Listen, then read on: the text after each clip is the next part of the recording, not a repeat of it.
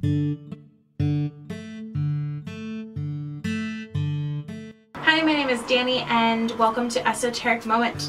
Today I have another book review for you and that is The Earth Path by Starhawk. This is a book that I read as an ebook and I did that not because I didn't think it would be great to have but because I already have a few other Starhawk books and try to keep my book collection as small as possible. Bias alert, I love Starhawk. She's one of my favorite authors her activism and connection to divine feminine just really rocks and fits well into my spiritual practice. There are some things that not so much, but generally I really, really appreciate her writing.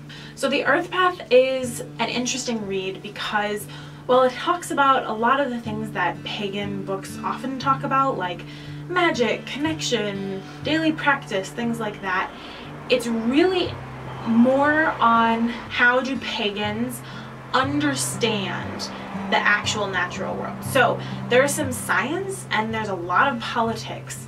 The book uses journal entries of Starhawks to not only show the real struggle and highlights of having a connection that's deeply rooted in the natural world, but also kind of proves that the things the author is talking about and encouraging you to do is something that she herself does both when it succeeds and when it fails. I liked the journal entry.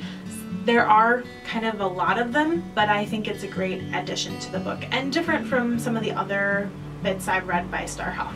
This book is also filled with politics and the author takes no shit about being progressive and being on the left and really encourages the reader to look at their own politics to make sure that what they say they believe is being followed through in what their political and citizens' life is actually doing. And I like that part of Starhawk when she gets into like the nitty gritty of like do your shit and and practice what you preach. Not everyone can go to a million protests or rallies like Starhawk, but there are small things and even, you know, just voting think is really, really important. And we have an election coming up, so I encourage all of you to vote whatever way you want to, but participation I think is really key. The Earth Path also talks about some more details of the science behind the natural world and why metaphysics and paganism talks about some of these phenomena in the way that it does. So there's a lot on seeds and death and life cycle, evolution. Those are really fascinating bits. Of course, if you're in the sciences or you have a firm understanding, it's not going to teach you anything new probably, but it is great to see a pagan author really emphasize that science and spiritual belief can mesh really well and the pagan outlook often does this seamlessly.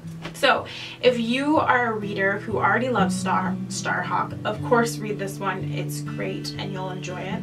If you're a pagan reader who's looking for something that kind of encourages you to get off your chair and do something, this is also a great read.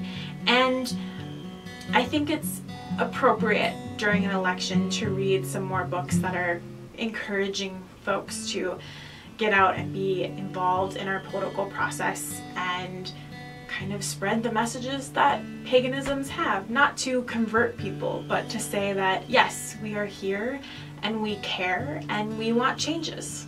In the comments below, I would love to hear if you think that politics and paganism mesh really well or if you're more like, no, those are separate realms. Thanks for watching and as always, may you find peace in the sacred grove. I think tattoos are phenomenal ways to show our beliefs, our inspirations, our art style in a really permanent and meaningful way. Of course, I love those people who have a spiritual meaning behind their tattoos, and my tattoo that I have is filled with spiritual meaning.